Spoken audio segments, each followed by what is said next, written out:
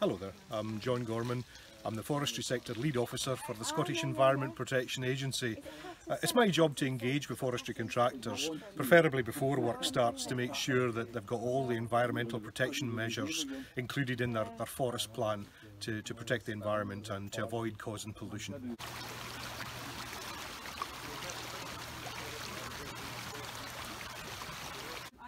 Well, the first thing I'm looking for is uh, how the contractors are talking, because I'm wanting reassurance that they can understand the current rules and regulations and also put measures in place to avoid pollution to, to rivers and the loch behind me here.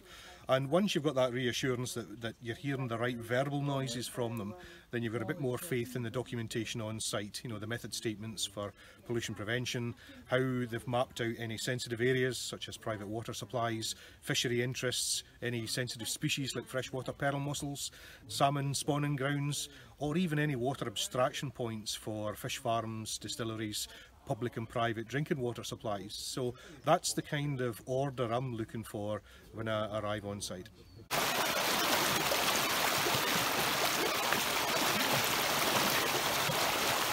It's our job very simply to protect Scotland's environment and the environment of course is, is land, air and water. Um, I'm a water officer by, by trade, so I, have got a particular interest in the water environment, which isn't just surface water like rivers, watercourses, it's also lochs and don't forget groundwater. We sometimes forget about groundwater, but we need to make sure that the groundwaters in Scotland are protected because they provide the base flow for our rivers. So if the water's clean in the groundwater, then at least that's going to feed in clean water to our river systems.